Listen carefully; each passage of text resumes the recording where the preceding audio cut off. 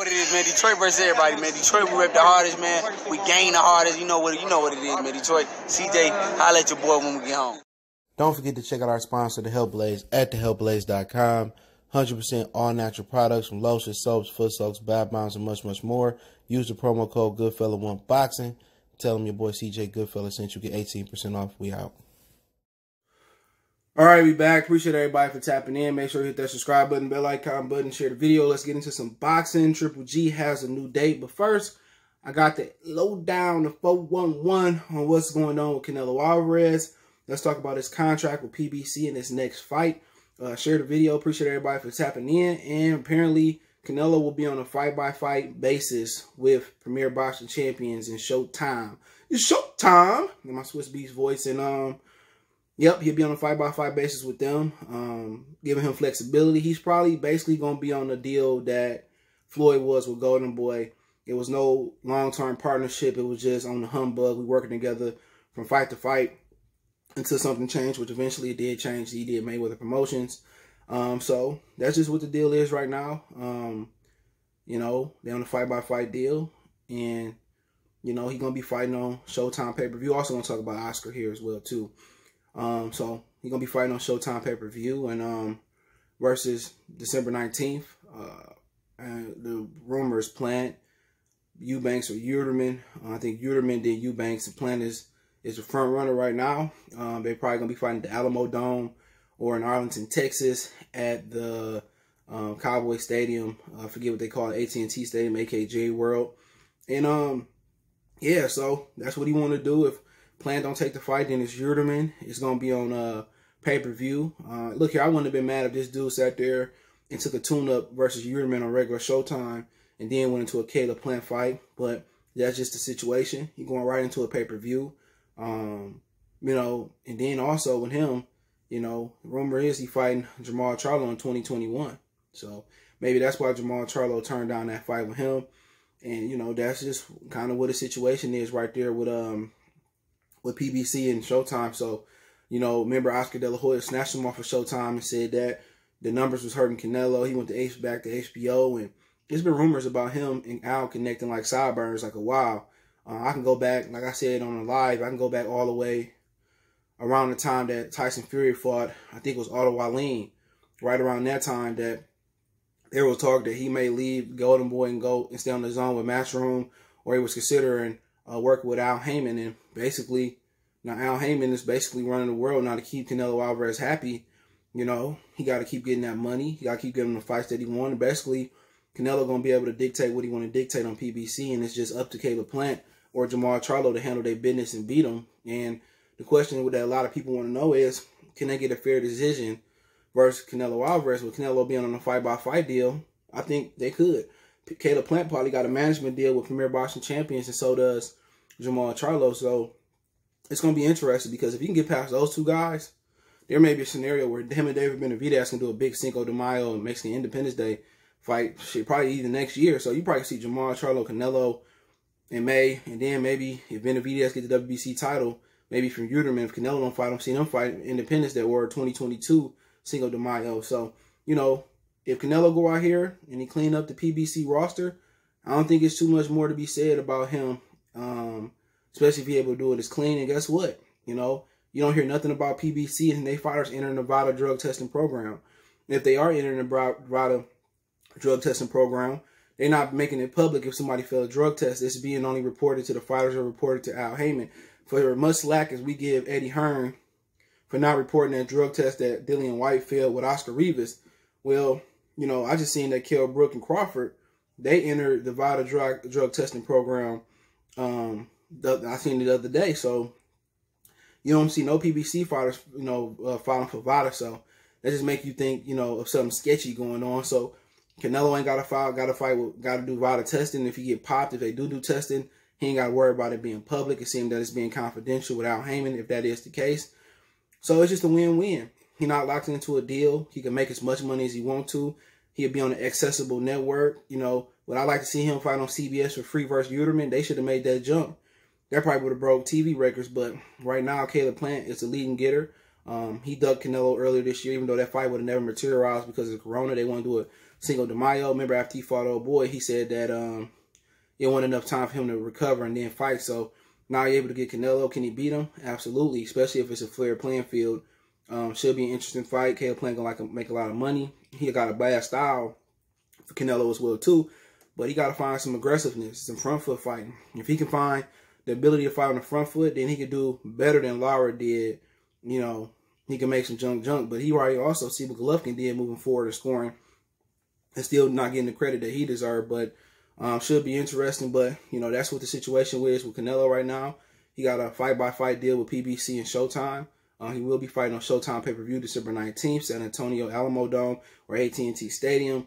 Uh, right now, Caleb Plant is 90% the, uh, front runner. Yildirim and Eubanks Jr. is also guys that could fight him. And then you're looking at um, January, I mean, excuse me, you look at 2021, he could be fighting Jermall Charlo. And it's just pure speculation. Then he could fight David Benavidez the same year as well, too. That's speculation. But um, Charlo won't get his shot. Should be a good fight. I know Eddie Reynoso said that he wanted to fight. Um, he wanted to fight with Jermall Charlo. So never know. Errol Spence could be in this future. A lot of guys can be in this future. But that's just a situation with Canelo. You heard it here first. And then you got a situation where Gennady Golovkin no longer fighting in November. Remember, he moved off of November Friday, uh, November Saturday day because Danny Garcia and Errol Spence was supposed to be fighting. He moved to a Friday. Uh, now he ain't fighting in. He fighting. They pushed the Kamil Szeremeta fight back once again.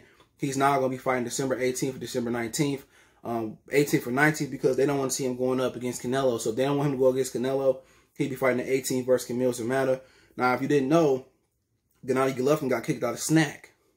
For whatever reason, Victor Conte kicked him out. He left with a calf strain, and I heard Jonathan Banks kind of pushed him to go to SNAC and get some better conditioning. He's 38 years old, be 40 in April. Um, so right now he fight Kamil Szeremeta December 18th, December 19th. That fight getting pushed back. I don't know because of injury, like a venue, or they want to fight with fans. Don't be surprised that fight don't, don't end up in Hollywood, Florida. That's exactly where Gamboa and uh, Devin Haney fighting. And I believe Danny Jacobs and Gabriel Rosado, and I think Demetrius Ballard and Demetrius Andrade will be on that undercard as well. Just a rumor I heard. So uh, they probably wanted to where Golovkin could fight with fans, and he probably going to be fighting at the Hard Rock in Hollywood, California.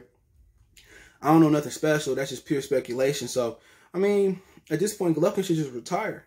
You know, he can fight Canelo again. You know, he can go over to PBC and fight Canelo, but why, you know, leave a gravy situation with DAZN where you're getting $14 million and you're getting equity in the company. So, I don't see why he would leave that situation. So, really, you know, they probably going to try to force him to fight a Danny Jacobs rematch. You're hearing that Golden Boy may go forward with a John Ryder, David Lemieux um, card uh, sometime in December. Um, so really, it's a situation where situation where Canelo really messed it up. So now they talking about doing the, uh, John Ryder, Demetrius John, I mean John Ryder, um, David uh, David Lemieux. So pretty much, man, Golovkin. I mean, his options there. It's really boiled down to Demetrius Andrade, Danny Jacobs at 68. It really ain't nothing else for him to do, you know, unless they really they willing to make the Jermall Charlo fight. And at this point, why would Jermall take a risk versus Golovkin, you know, fight Canelo, especially on his own? So in the situation, the only fight that, that Golovkin got now was just Demetrius Andrade and Bum Bumbasher. So uh, maybe Billy Joe Saunders and, and Golovkin can pop off. Callum Smith and Golovkin, Callum Smith and Demetrius Andrade, but DAZN probably on they on their knuckles and they probably on their way out.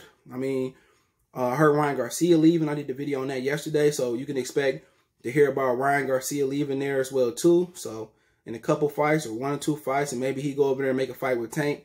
I heard that he going to Canelo Alvarez promotional company, so that's the situation there. And also, you hear this, you hear a rumor on boxing scene that um, I got Zapato today. Good dog, Eddie. Good look at dog, Eddie. He's a mini labradoodle. My mom, she got him Tuesday. He already chilling with me. Um, but he, but yeah, man. Oscar De La Hoya talking about fighting Marcos Maidana in the comeback fight. Maidana didn't ran through all his money. He didn't ran through a check and, and he needs some money. So uh, that don't surprise me. Two guys that need money. Maidana had the fake looking abs. He was supposed to come back. Um, and at the end of the day, PBC was a rumor that they didn't pay him all this money to help him through his training camp, so he quit.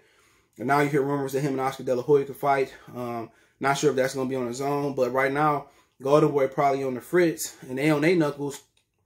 And don't be surprised if they don't try to sell or they file bankruptcy.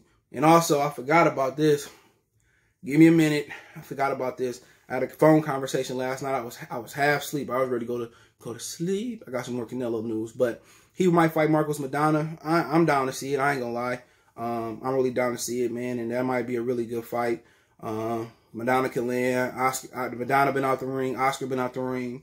Maidana can punch. That ain't gonna change. Uh, Oscar got one of the better jabs uh, lower weight class history. I mean, talking about all time, talking about Aaron Pryor, Larry, I mean Larry Holmes, Sonny Liston, Oscar De La Hoya, really good jabs, and you know they got to find money some way. Don't be surprised if Bernard Hopkins don't come and try to fight somebody or do something of that nature. But Golden Boy probably going down. No, don't be surprised if they don't do Shane Mosley, Oscar De La Hoya three. Don't be surprised if you don't see Oscar De La Hoya, Tito Trinidad in the near future if he do okay versus Maidana. So we in a situation where you know DAZN is desperate and Oscar got to come out of retirement to really help them make some ends meet. So I watch it though. You know what I'm saying? They got a rumor going around that they trying to start a rappers uh, boxing league for rappers who don't who got beef and they want to you know stop people from dying. RMP to King Von and that's good. You know, get in the ring and swap it out. We gotta really get this violence thing down, man, because there's too many rappers dying. You don't hear that about country music singers, rock stars, only in the black culture, hip hop. But you know, it'd be interesting. Uh, Oscar and Maidana. That's a good fight. And they primes, um, De, De La Hoya probably get him. You know what I'm saying? For real. But it'd be a good fight now. See if De La Hoya, he been training in shape. He got and he got to come back to really save the company. I know he probably thinking that he probably should have sold Golden Boy for $100 million to Al Haymon now and just rolled off in the sunset. And I think that's just the situation. But also, I got some more Canelo news. Uh, Canelo in DAZN and Golden Boy basically settled out. Canelo was suing for his rest of his $280 million he was owed on his contract. In exchange, DAZN let Canelo walk. Golden Boy let Canelo walk. Now, the rumor on the street was that Golden Boy had the contract and they never showed it Canelo. He signed. And basically, Canelo never had a deal with DAZN. His DAZN deal was through Golden Boy. They middleman the deal. And uh, hold on. They middleman the deal. And Canelo, for some reason, never knew the stipulations of the deal. Remember that he promised, Oscar De La Hoya promised that Canelo would fight uh, Golovkin in the trilogy. Canelo said he wouldn't do it. He met with DAZN. They've been having issues. They rectified that. And then all of a sudden, basically, Canelo was dropping a lawsuit. He he would he would agree to drop the two hundred eighty million dollar lawsuit as long as DAZN let him walk. And Golden Boy let him walk. And Golden Boy just didn't have the money to fight. DAZN they couldn't risk losing that money and basically filing bankruptcy. So they let Canelo walk. So Canelo dropped his 280, 300 million dollar lawsuit, whatever it was. He left the money, but he still got the. He had to keep the money that he fought for Rocky Fielding. That didn't really count against the uh, contract. Danny Jacobs, Kovalev, and whoever else he fought in DAZN, he kept that money. But they basically forgave. He forgave the debt. He gave. He he dropped it. Whatever it was, 300, 280 million dollar lawsuit. In exchange, Golden Boy in DAZN released him and uh, that's just what the situation is. So let me know what you guys think. Don't forget we on Facebook, Instagram, Twitter. You can reach out if you have a business question, inquiry, sponsorship, video request. All my social media links are in the description. Twitter's the fastest way, Facebook and Instagram. Also, we got a Facebook group. Check that out. If you want to make a donation to the channel, best way to donate is share the video, hit that subscribe button, bell icon button. Don't forget, check out my Sportscastr page. Uh, I'll link that. I'll leave that link in the description. Um, and other than that, man, man, best way to donate, share the video, Cash App CJ Good 313, PayPal link in description. Check out the backup channel, Goodfellas Sports TV 2.0. For those who don't know, we can't go live on this channel right now, so we over there at Goodfellas Sports TV 2.0. Appreciate the love, support. One time for the one time. Y'all know what it is. We going. All right, some may not know, but we got blocked from going live because we had some of the fight playing in the background this past Saturday on the tank and uh, Leo Santa Cruz Carter. It was or is it either the New fight on ESPN Plus, but um, it was a mistake. But now we can't go live until something change. Uh, let something change until January 29th, basically February. So I want you guys to follow me on Sportscasters, S P O R T S C A S T R, and I'll put the link in. The, well, I'll put the link in the description.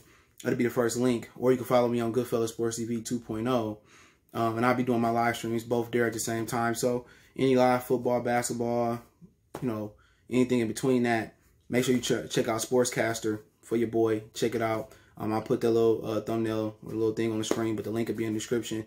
They monetize from day one. It's a YouTube alternative, so I will be there permanently. So I might be going live there and YouTube if I get my channel back or my live stream back at the same time. Appreciate everybody, but Goodfellas Sports TV 2.0 link in the description and Sportscastr link in the description if you want to press the link.